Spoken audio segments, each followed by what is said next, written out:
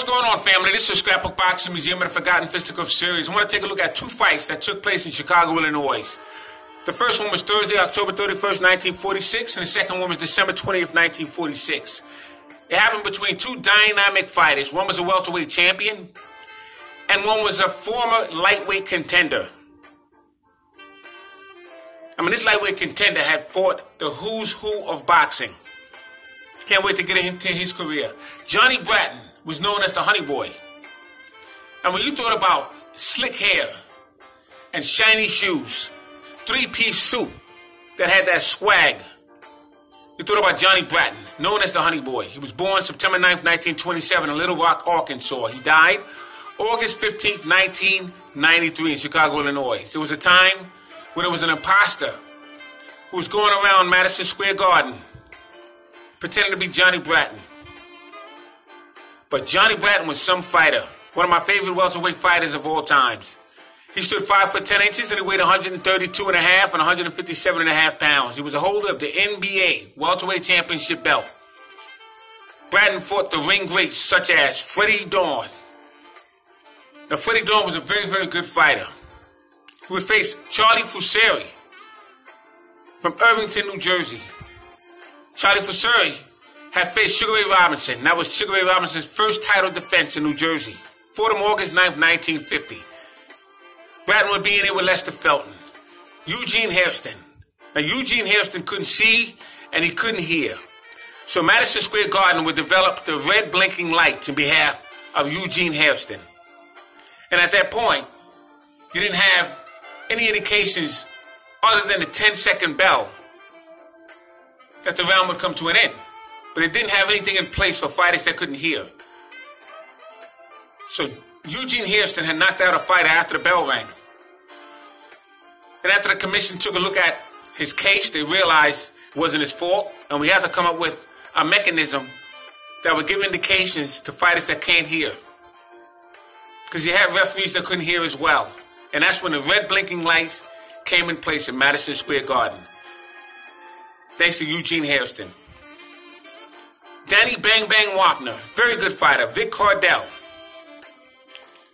He was in there with Willie Joyce, two separate occasions, Chicago, Illinois.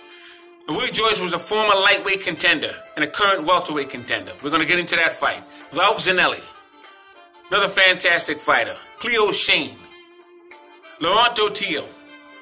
Now, Laurent Dauthuille will give fits to Jake LaMotta. That would be Jake LaMotta's first title defense as middleweight champion. Jake LaMotta would defeat Marcel Cerdan, 1949, for the middleweight championship belt. And he would have good scare because Laurent Dauthuille was ahead on all scorecards. And in the last round, the last 13 seconds of that round, Lorenzo Tio would get hit with bodacious combinations by Jake LaMotta. And he'd be knocked out three seconds before the bell would ring.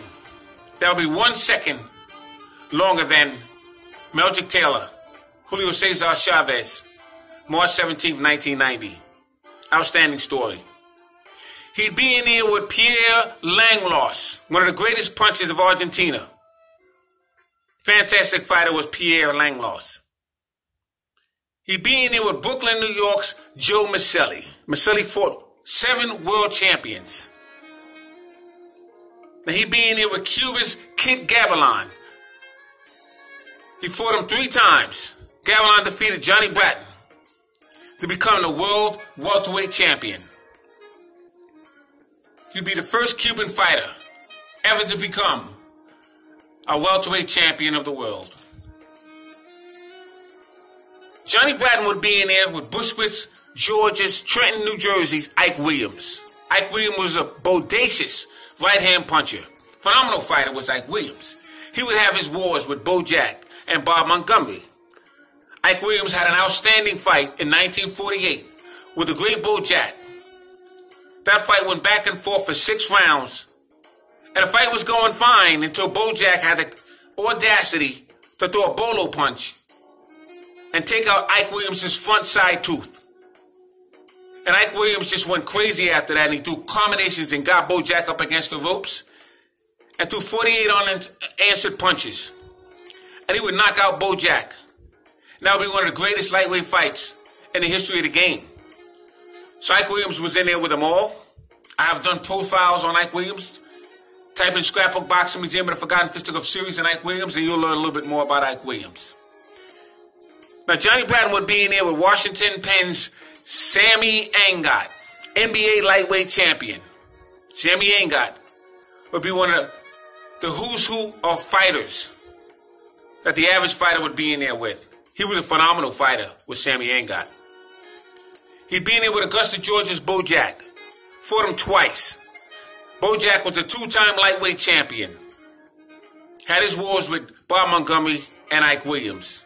And Henry Armstrong. You name him, he was in there with him.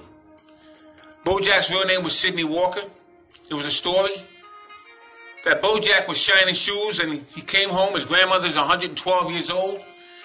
And the grandmother had a lot of values. And at that time, the last name was everything. And Beau Jack's real name was Sidney Walker. And when he came home, he came home crying. The grandmother wanted to know what he was crying for. She had a plate of food waiting for him at the dinner table. And when he explained to his grandmother what he was crying for, she told him to go to the bathroom, wash his face, take off his shoes, and take off his shirt. And when he came out, she beat him half to death and told him no walker runs from no one. That was Beau Jack's grandmother. And Beau Jack, from that point on, never ran from another guy or fighter again. He was in there with San Bernardino's Albert Chalky Wright, former featherweight champion. Chalky Wright would lose his title to Willie Pep. Willie Pep, they call him Will the Wisp from Hartford, Connecticut. He was a fantastic defensive fighter, was Willie Pep. Johnny Bratton would be in here with Louisiana's Joe Brown. They called him Old Bones. He would become lightweight champion of the world when he defeated Wallace Bud Smith. And he would lose his crown to Carlos Ortiz. He would be in here with Del Flanagan and Chico Verona. He'd be in here with Newark, New Jersey's Johnny Saxton. Fought him twice. He would lose his world welterweight championship belt to Johnny Saxton. Johnny Saxton would be a two-time welterweight champion. Johnny Saxton would lose his welterweight championship strap to Tony DeMarco, as well as Carmen Basilio. Johnny Bratton would also face San Antonio's Texas Bobby Dykes, former welterweight contender. He was a southpaw, six foot tall, and he was a very, very good fighter. Was Bobby Dykes. Willie Joyce, born September 2nd, 1917 in Chicago, Illinois. He fought out of Gary, Indiana. And he died December 5th, 1996. He was 90, 79 years of age at the time of his death. Excuse me. It was Gary, Indiana is where he died. He stood five foot six inches and he weighed 133 to 146 pounds. He was managed by Izzy Klein. And he had total bouts of 103, 71 wins, 21 losses, 10 draws, 16 knockouts with one no contest. And he being in here with Millwood, Texas. Lew Jenkins, former lightweight champion. He fought him three times. And Lew Jenkins would lose his lightweight crown to Lou Ambers. They actually defeated Lou for the crown. He being with Athens, Georgia, Loser Slugger White. Loser Slugger White was a phenomenal fighter himself. He was in there with the who's who of boxing. He was in there with St. Louis, Mississippi's Henry Armstrong. Fought on four occasions. Armstrong was a three-weight division world champion and held those belts simultaneously. He would have the featherweight and a welterweight and lightweight championship strap. He'd be in there with San Bernardino's Albert Chalky Wright, former featherweight champion. He would defeat Joey Archibald for that crown and lose it to Willie Pep. He'd be there with Hartford, Connecticut's Willie Pep, two-time featherweight champion. He had his wars, a four-fight occasion series with Sandy Saddler. He would defeat Chalky Wright November 20th, 1942 for the featherweight championship crown. Unfortunately for Willie Pep, he would suffer a plane crash, but he would come back and regain his title. One of the greatest defensive fighters was Willie Pep. Willie Joyce would be in here with Garfield, New Jersey's Tippy Larkin. Fought him three times. Tippy Larkin was a lightweight champion. He would lose his crown to the great Beau Jack. Willie Joyce would also be in there with Chicago, Illinois' Johnny Bratton on two separate occasions. And that's the fight we're looking at now. He being be in there with Brunswick, New Jersey's, Trent, New Jersey's Ike Williams, for them separate occasions. Ike Williams was the hardest lightweight puncher known to man. Phenomenal fighter was Ike Williams. Augusta, Georgia's Beau Jack, former two-time lightweight champion. He would face Bobby Ruffin. Pittsburgh, California's Jackie Wilson. He was a welterweight contender. Chester Slider twice. So I gotta tell you, these two fighters was unbelievable. They could fight. Remember, Johnny Bratton had his war with Gil Turner. I have Gil Turner, one of the greatest Philadelphia fighters of all times. He was in there with Kid Gavilan. Kid Gavilan was a phenomenal Cuban fighter. He was the developer of the double bolo punch. He would punch to the body and punch to the head in a bolo fashion. One of the fastest hands and feet of all of boxing. Kid Gavilan had his wars with Sugar Ray Robinson. But that Philadelphia fight with Robinson and Gavilan was a ring classic. So Thursday, October 31st, 1946, Chicago, Illinois. Willie Joyce would lose to Johnny Bratton. Johnny Bratton had a fighting record at that time 21 wins, 6 losses, 1 draw, 1 knockout. He was 19 years of age. He stood 5 foot 10 inches. Willie Joyce had a fighting record of 70 wins, 18 losses. He had 8 draws with 16 knockouts. December 20th, Chicago, Illinois, 1946. Willie Joyce would lose 10 round decision to Johnny Bratton. At that time, Johnny Bratton had a career record 22, 6 losses, 1 draw, and 10 knockouts.